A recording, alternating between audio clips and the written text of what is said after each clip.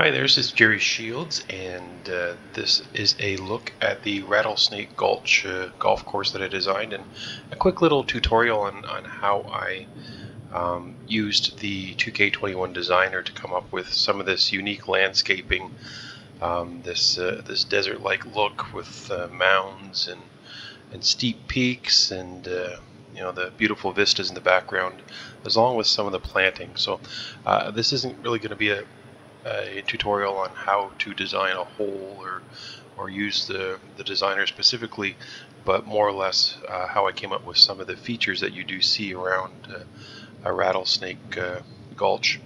So what I'm going to do is I'm going to move over to the part of the golf course here. Let's move over to number 8. Number 8 was a par 3 uh, downhill and you can see that the background is rather uh, quiet uh, and kind of missing some of the extreme mounding and shaping that we see here, this kind of rock-like texture. So what I want to do is show you how I came up with that type of uh, terrain uh, for this golf course. So, so what I'm going to do is uh, I'm going to go to Edit, and then I'm going to Sculpt Land, and then I'm going to go to Landscape Raise. So what this allows us to do is to raise and lower uh, terrain. I can choose a shape here. Let's just choose this one and then I can change the height up and down. You can see I can build a peak or I can build a hole. So what I intend to do is choose some unique shapes to try creating some peaks. One shape that I found very useful in creating this course was this oddball shape here. And you can see that it is uh, rather different, uh, but and it created kind of an interesting uh, landscape for me. So I'm going to click on that. And what you will see is if you raise it, it creates these bizarre little peaks and also kind of associated valleys beside it. So, so I can expand this in size and I can make this smaller. So what I'm going to do is I am going to try to create this little bit of a, let's create this little bit of a, a range of hills and mounds beside this hole. So we're going to start clicking and I just kind of move it around a little bit till I get something that kind of looks right. And we'll go over here beside the green a little further. and, and then I can spin it around as well. That way my mounding isn't always looking the same. And just by doing this all around this green we can see that I am adding a bit of texture to the edge of that green. And who knows I may actually like this enough to keep it. But I am just going to keep on going. I say I want a little higher peak right there. It kind of looks interesting so I'm going to go with that and spin this around again and uh, move to another spot nearby. And really it's just kind of feel. It's it's uh, putting in what you want. And going with it. Okay, this almost done uh, here. So that's kind of how I get that look. And, and if I want to just keep on going up and up more and more extreme, uh, say behind the green here, I just increase my height. I can increase the size of the shaping. And uh, we can just start going for it. We can get these interesting peaks when you overlay one level on another. You know, I can exaggerate that one peak at the back that we can see there really sharp if I really wanted to and build a few more beside it so. So that's how I ended up with that look that you see around the golf course and then when I built things if I if I really didn't like how extreme the peaks were well then I would come along and, and I would do a little modification. I may choose a different shape for example uh, something like uh, this even where I would uh, make it a little bit bigger and uh, the height being zero. So I would use this to kind of, I could move that over top of a shape and I could actually bring things up and down if I wanted to. If I thought that peak was a little too extreme, I could move over top of that and uh, click the button a couple times and you can see how it kind of takes things down and and uh, and also this by the same mark um, if I wanted to create depressions area, I could go back to that same shape again and I can go negative with heights. And now I can start creating these, these little deep valleys in and amongst the hills and create areas of negative height to, to coincide with the areas that are positive. And by doing this all over the place, I can create some little kind of ravines and valleys, as you can see there, that are now buried amongst. Let's throw a couple uh, higher hills in and around that depression there. And, and really, you can go back at any time and you can just undo your last button click and, and go again, or you can flatten it back out and start again. So you're really not tied to anything. So there, now we've got you know, a little bit of a low area buried in there with some surrounding higher hills. Now planting is, is the next thing I wanted to cover here real quick. And the planting is definitely a feel thing. Um, we're going to go back to adding objects and place objects, nature in this case, uh, plants, because I want to go with uh, some cactus. So here's our cactus. And planting can be really challenging. If you have a wide open area, say behind this green here, and you just plant a cactus, and plant a cactus, and plant a cactus, or say you try to do multiple objects and plant some cactus.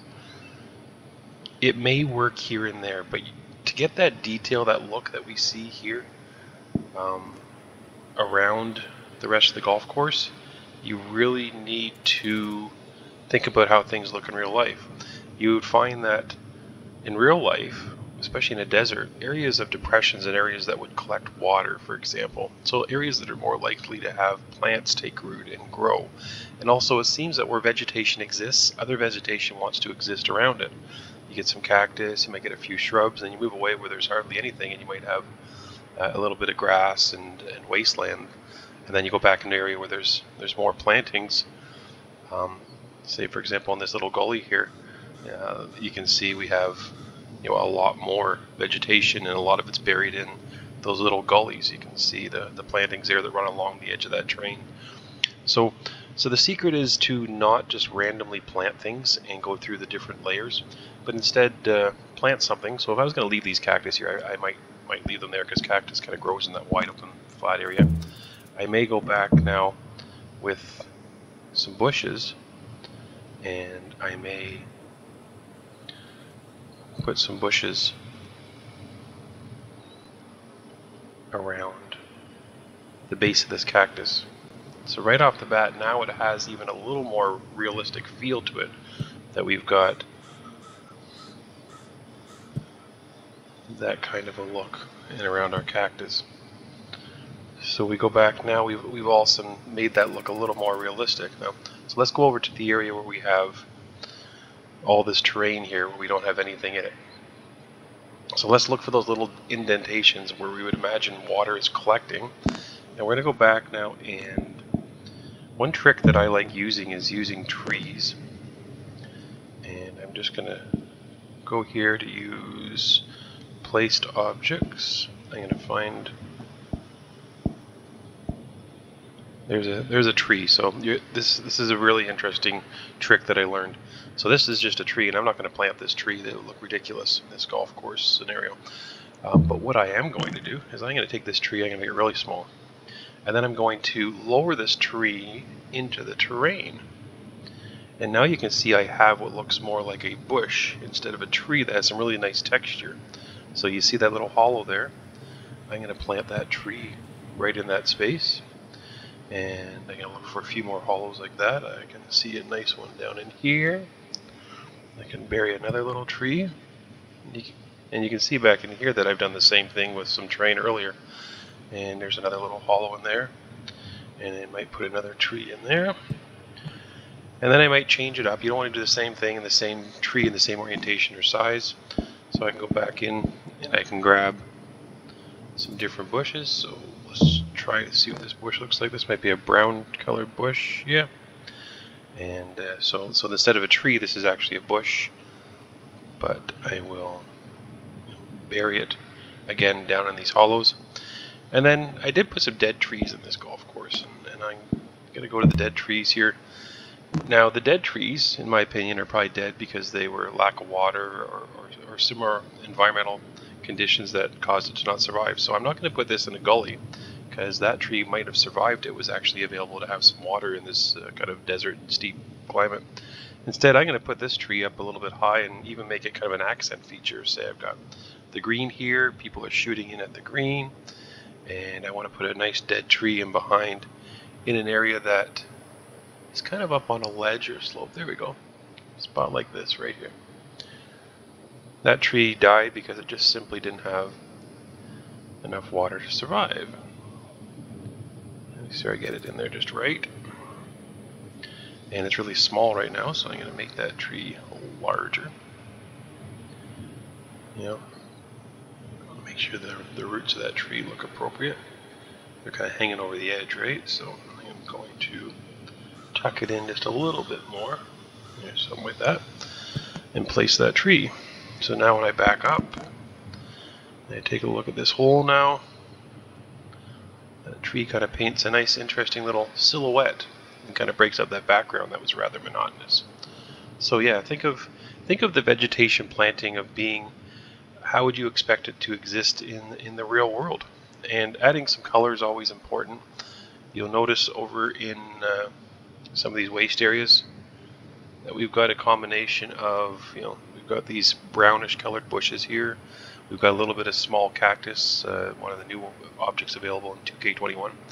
And then I've got this grass and this cactus and a few even brighter green shrubs and pieces of grass buried in there. So you want a little bit of variety so that when you look at this with the naked eye, you, kind of, it looks kind of random like nature would be. And, and you can see in there how I've got grassy areas in the low-lying areas where water might settle on a odd time this, this the climate gets rain.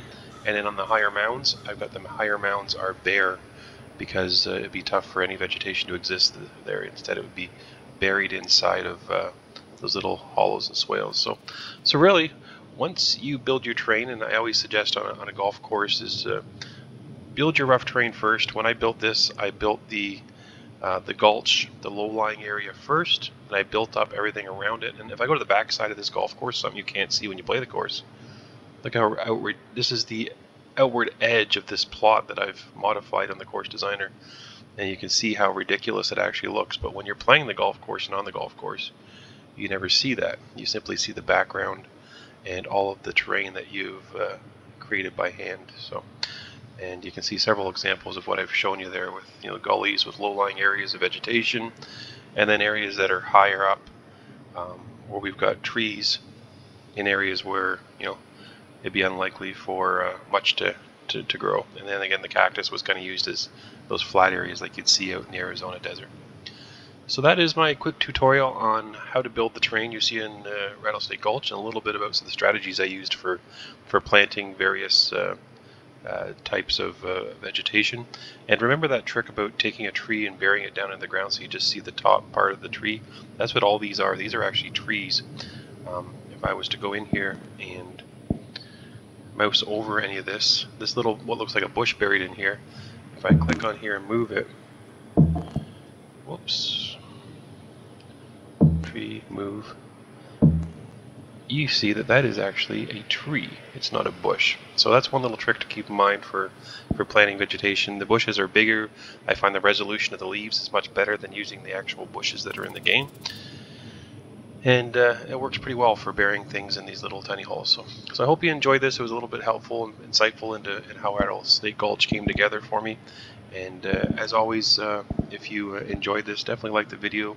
Uh, I'm always looking at comments and, and trying to provide um, some explanations, so don't feel uh, afraid to ask any questions. And, and certainly follow this channel. And, and when I start developing more detailed tutorials on how to build a golf course from scratch, um, then you'll get some notifications and and we'll uh, make use of that. So take care and uh, have a good day.